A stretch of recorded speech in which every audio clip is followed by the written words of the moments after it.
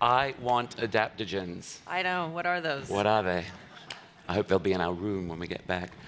Um, Amber, uh, it's, it's such a pleasure to talk to you. It's always been a pleasure to talk to you. Um, 20 years ago, when you arrived, and I guess what was the second wave of supermodels, you were always so open and accessible, and um, where a lot of your peers, you could feel they hadn't really felt their way into the job, but you always were so present. So it's it's interesting to hear actually there was a behind the scenes story that was happening there that you presented extremely well, but there actually was all that inner turmoil and. and I'm surprised that you say that, so thank you, because um, I always felt I was cranky and um, shy and rebellious. Um, yeah, I mean, I was 15 when I started modeling, and um, from Oklahoma, and you know, I don't, I hadn't traveled much. I'd never been outside the United States, and when I met you, I think I was probably 17 or 18, and um, my trajectory was quick. Although I had modeled during the summer, it was quick, and um, you know, everything I learned, I really learned out in the world in fashion. I knew a little bit, but I was really naive coming from Oklahoma and not having seen the world. And so all of my, I think, rebellious teenage angst and all of that came out when I got to the fashion world. I would have never talked back to my mom, but when I got into modeling, I felt this inner struggle of, of um, kind of a poor kid making it well, being insecure because you're still gawky and strange, um, being told you're beautiful, and having a lot of pressure to be professional at 18, 17 years old, um, but also loving it because I was a creative person and an emotional person, and that always was a part of my experience since I was little. So there was another part of me that was, when I was working, was completely engaged. But, but I did feel, you know, I'm, I'm, it's so nice that you say that, but I always, I look back and think, God, I must have been such a little shit. Maybe it was just me. no. um, did you recognize the industry as we, the modeling industry, as we heard it described yesterday? Yes. Yes. I think James brought great attention and light to truths that um, I think have been a part of the industry, uh, you know, in my time and probably before my time, and obviously still today. And um, and I think it's changed, and the way it's changed, you know, James brought up. But you know, we were, yeah, I mean, there were mean things said plenty of times, but you know, I I don't hold on to those things, and I'm not a victim. And you know, I they they did definitely or were not why I went down the path that I went down. So you, you wouldn't you wouldn't ever say the industry enabled you in, in any way. And let, and maybe perhaps we should say what we're talking about. um, you know, I, my drug and alcohol use and abuse was not, you know, because of the fashion industry. I would have used, had I been in college or had I stayed in Oklahoma, I would have because it's a part of, it is who, I, it's part of me. I know I would have done it. I was already experimenting in, in school since a very, you know, at a really young age. So I had more access and it was more acceptable. And, um, you know, maybe sometimes even valued in a weird way. But um, I would not blame any of the kind of negative, you know, talk or treatment to my acting out. So, at what point did, did it occur to you that you needed to do something about your? That we've heard about uh, people who made transformations in their lives. At what point did it occur to you that you needed to do something to get yourself well? I, you know, I I realized pretty quickly into my um, drug use and alcohol abuse that I was not someone who could handle it. I was not um, someone who went, you know, home after the party was over. I continued to take the party further. Um, I was never somebody who embraced the rock and roll lifestyle. Like I was always ashamed that I was, you know, using more than what was, you know, normal. And um, because of that shame, it perpetuated a lot more inner turmoil and darkness. And, and I think that, um, you know, my bottom was very lonely. I was at the top of my career, probably the peak of my youth, and I was alone in my apartment after three days on a binge, practically, you know, going into cardiac arrest and could not stop. And I don't, and I had millions of dollars riding on me. You know, I was under contract, multiple contracts. And to me, that is evidence that it is a, a real disease, it's a real force. That, you know, had I had the willpower, I could have, I would have stopped. I wouldn't have shown up, you know, when someone was sick in my family dying, hi, at the hospital. Like, who does that? That is lack Addicts. addicts, mm-hmm. because there is a lack of control and they cannot stop. And so, for me, when I realized that I was, you know, about to not just lose my career, but potentially lose my life, and I didn't want to die like that. I really didn't. I thought, what a pathetic way to go. So I, I sought help at 25, and I've been sober, clean and sober ever since. So I don't, I don't think that deserves a, an applause, but it, it, to me, what it has done is it's brought me everything. I would have nothing. It is the single most important thing in my life. And I would say, yes, my son is my life, my family is my life, but without my sobriety, I have absolutely nothing. Absolutely nothing. And you've been able to model through that entire process. Mm-hmm. So it, it, I, I, would have, I would think that there's something about modeling, I would imagine, when you see the images that people make of you, the pictures that people like Peter Lindbergh and Steven Meisel took of you, where your beauty is, is otherworldly. And at the same time, you know the person behind the picture. So that disconnect, you have to bri- build a bridge between the public and the private, you know, strike a balance. We've heard the word balance a lot. So how did you manage to, oh, actually, what did it feel like when you, when you managed to balance your, your needs and your, you know, your professional career? Did it change the way you felt about modeling?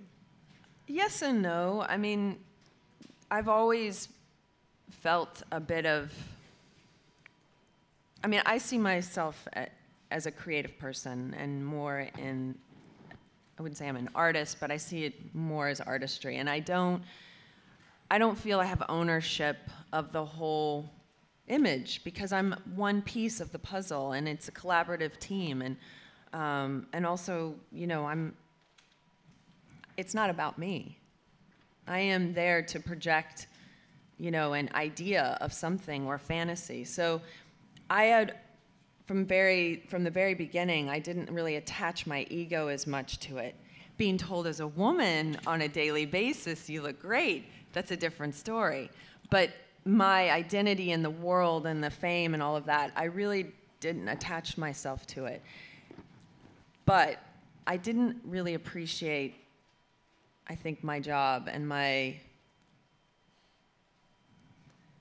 I think the ability to to be um, to kind of do so many great things until I left the business to pursue acting.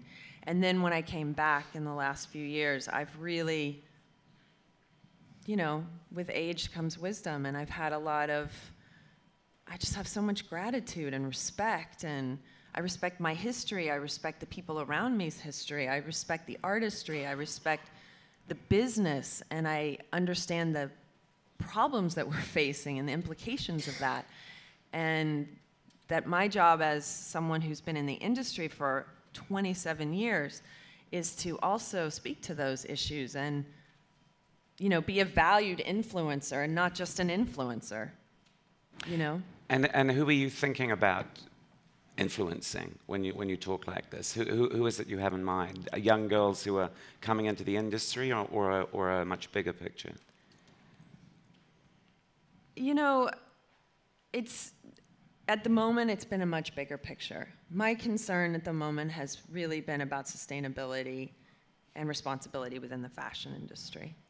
I, we are an archaic industry thriving on modern creativity, and we're still producing clothing as if it doesn't matter, as if it's disposable, as if it's okay to dump toxins in water or, you know, um, put people to work in unfair and unreasonable situations, or put children to work to make a t shirt or to buy a t-shirt as everybody's been speaking about that costs less than a cup of coffee. And to me that's the bigger issue right now that we face is that as a planet we are you know we're at a tipping point. And we won't really have any place to work it all out you know to model to get sober to fight for whatever or just simply enjoy life if we don't have a healthy planet but do you find coming back into the industry that that there are more people who feel as you do? do you, what, what changes have you seen in, in the, 20, the 27 years? Well, we didn't have any, I don't think we had enough information, obviously, 20 years ago. Climate change was just being, you know, kind of talked about. But I have seen a huge change. I mean, I started a business a few, maybe five, six years ago, and when I was speaking about sustainability and responsibly made clothing, people looked at me like I was insane and, you know, glazed over. And now there's such a movement towards trying to solve these issues and, you know, Vogue has style ethics and, you know, there's just, there's so many people trying to, to do better. But it is a, it's a, it's a very important issue and it's one that the elite of the industry have such power to change the masses. Do you, do you think models have more, um, have more power now than they did when you were modeling? Absolutely. Absolutely. The power to have 45 million followers to listen to you. I mean, I don't know if it translates in consumerism and buying. I don't know. Or activism. Or activism. But I think you probably would have someone's attention. Well, you look at, you, I think if you look at Karlie Kloss or Gigi Hadid, um, who women in their young, in their early 20s mm-hmm. with these mega 1000000 mm-hmm. numbers following them, they are using their positions. They, they are, are, speaking out. I yeah. mean, they are very, very deliberately setting themselves up as role models. So, what's your, what's your, um, I mean, your impression of that is obviously good, but what do you, when you're with those women, do you feel, God, these, they're so much more evolved than I was totally. when I was that age? Totally. When I met Karlie, I was like, I'm so impressed by you because you, you saw this as a business and as a brand, and I was just too busy being creative and you know going into the deeper meaning of the scarf or whatever we were shooting, which I think is is a beautiful part of our industry, the the creativity and the the you know nuances and the fantasy. But for someone like a model like Karlie to to create a brand for herself that not only is just about hey look at me I'm beautiful, but I'm a role model. I'm not just a supermodel. I'm a role model for young women, and she's done an amazing job at that. And I think that that's it's so powerful. And I think hopefully we'll see more and more of that because, you know, I don't really think we need more selfies. you know, we need more expression of what do you believe in? Who are you? What is your value? What you know, how you can influence people.